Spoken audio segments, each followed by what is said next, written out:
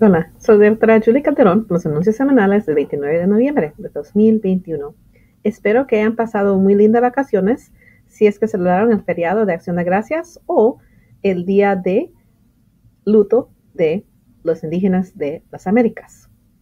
Espero que hayan descansado y que estén listos para recuperar, empezar hasta el próximo um, feriado.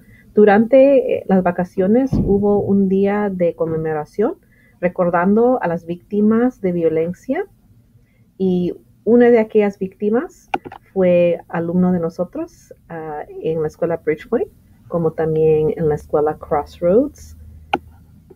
Y también asistió um, a las escuelas Snow Elementary, Newark Junior High y Newark Memorial.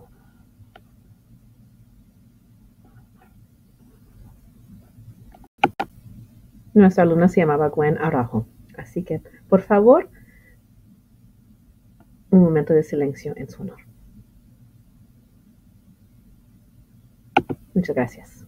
La clínica de vacunas empieza hoy, desde las 2 de la tarde hasta las 6 de la noche, enfrente de la oficina de evacuación de adultos. Esto va a empezar hoy, continuar el miércoles y el viernes de esta semana, con la segunda dosis disponible el 27 y 29 de diciembre.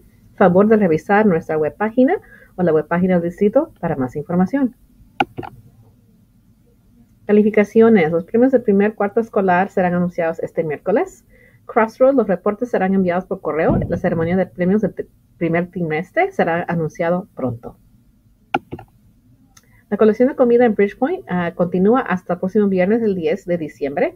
El cuarto periodo que colecta más cajas y latas de comida ganará pizza.